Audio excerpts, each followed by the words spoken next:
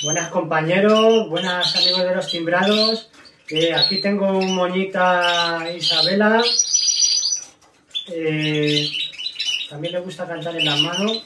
Y, y nada, deciros que voy a subir un vídeo en unas horitas sobre el canto y, y alguna otra cosilla más por ahí.